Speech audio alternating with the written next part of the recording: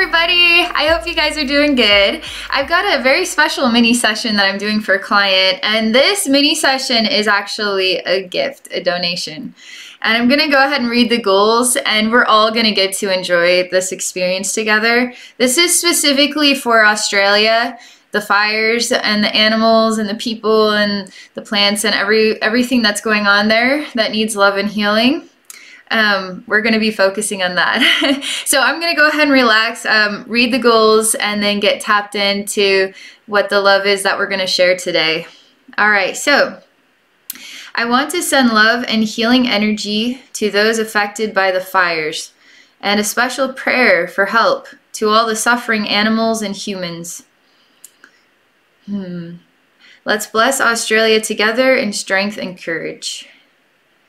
That is so, this is so sweet. I'm, I'm really absor absorbing in your energy and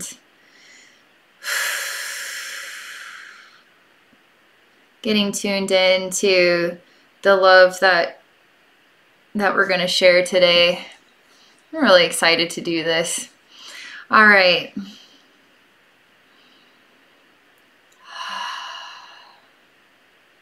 Just gonna relax.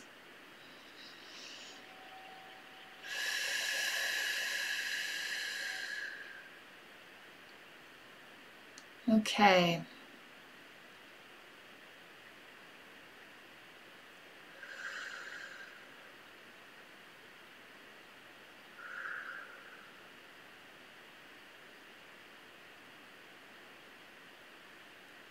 All right, so I'm experiencing my heart and my heart's kind of made out of charcoal in this experience, okay? And the charcoal is all really hot, so it's glowing red, red and orange colors.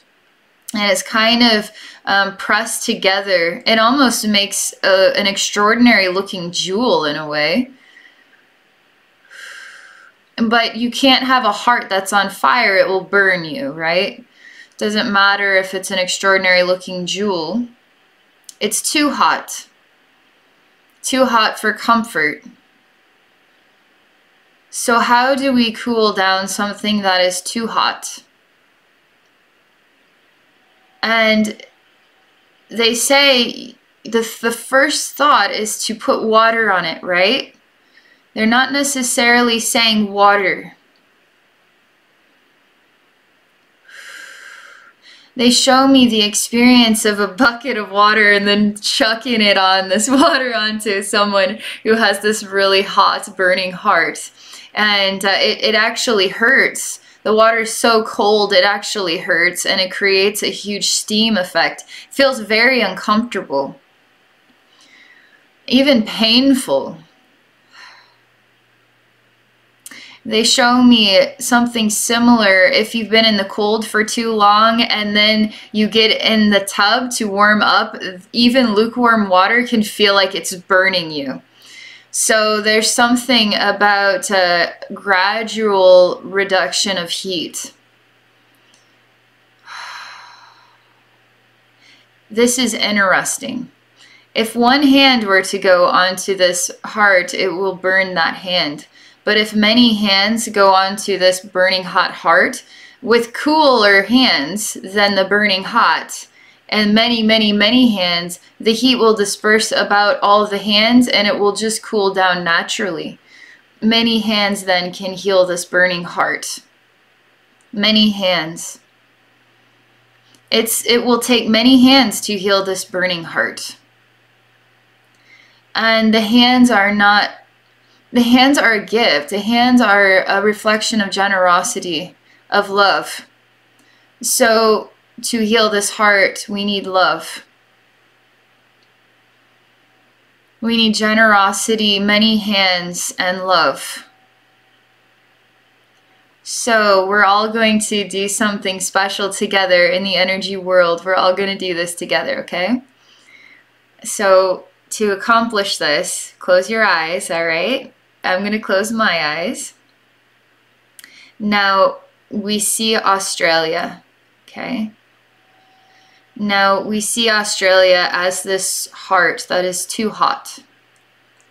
And we're all going to do this. I'm placing my energy hands up upon Australia. And you place your energy hands upon Australia. And even if this video is being watched years in the future, future events can change the past. So even in the future, if Australia is five years from now, it has nothing to do with, you know, the time has changed, right? Your hands are still valued at this time. So we see Australia in this time, this heart on fire. And we'll place our hands upon it, okay? And the heart is very, very sad. And the heart says, Hold me. I'm alone and I'm I'm melting is kind of what it's like. And it's like, please stop the melting. There are other spirits joining in with us. A very large man spirit as well. And I did a journey with the spirit of Uluru, the, this very special sacred rock in Australia. And it was so wonderful and so beautiful. I'll put a link in the description if you want to watch it. But Uluru is very much so like a Father Earth figure and I see him standing here with uh, with us and many other spirits, like many, many, many, many spirits standing here with us. And we're doing the best that we know how with our hands of love and generosity to cool down this burning heart. Uluru is here with us too, and many others who love Earth and Australia and humanity and the animals and the insects and nature. My spirit guides show me that this is like um, the stop, drop, and roll method. So if you're on fire, you got to stop, drop, and roll. And uh, so we're using the stop, drop, and roll method with our energy hands to kind of pat out the fire, okay? With our energy hands. We're going to pat it out. so we're just kind of doing that right now. And uh, so multiple things are happening at once. We're patting this out, but we're also simultaneously, there's a spirit for every single animal and every single animal that has perished in this event is being held. Their spirit is being held. And what's interesting about this is it, it's a tragedy, right? Um, but these animals signed up for this. These spirits did. They knew about this. They knew what they were going to experience. They knew what their transition experience was going to be like. And some of them are still lingering in the earth plane because it's traumatizing to die in a fire. So all these spirits are being held and you can hold a spirit one of these spirits too with me.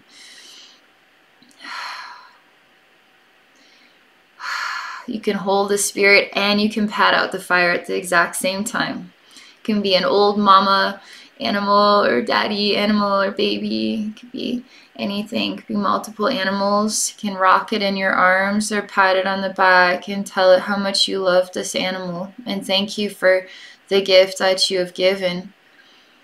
Your life here on earth is special, but the learning from this fire is special too.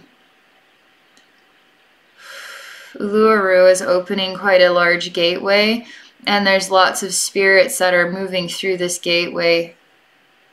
And there's um other spirits specifically to help transitioning spirits. It's, it's hard to, explain everything. There's so much stuff going on here. Um, but they're they're like smiling and welcoming all the animals through this gateway. And it's very exciting. Very very exciting. And what's interesting is there's a silence in the air and it's it's nature okay? And nature is going through a what is like an energy download? What is like a transformation of its self-expression? It's thinking. And it's absorbing lots of information from deep within the earth and from the stars And what's interesting about this too is that the insects and the animals and um, the the plants, everything that has uh, gone through a burnt burning experience is being digested by the planet. And so the planet is absorbing lots of information um, in this area, okay? And it's thinking about how it wants to recreate itself here.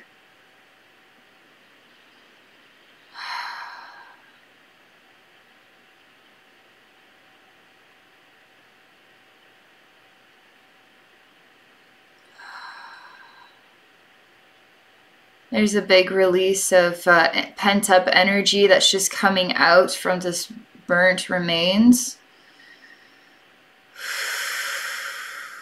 It's like a large exhale. It even feels better inside my own heart.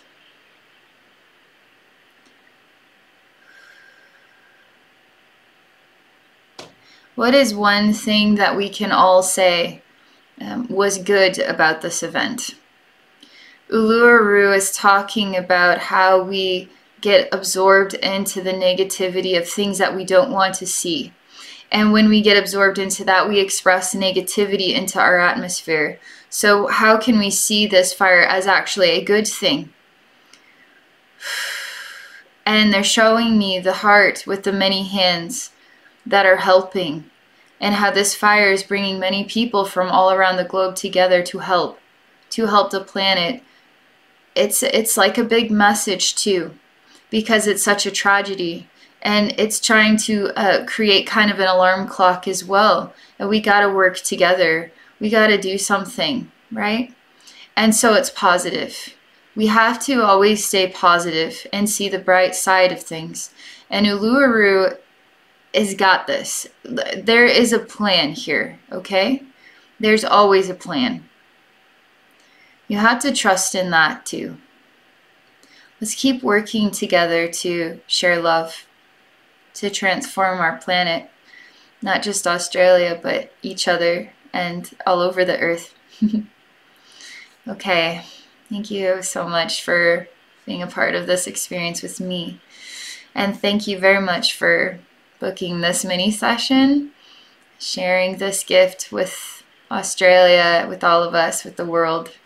It's really, really neat. All right, everybody.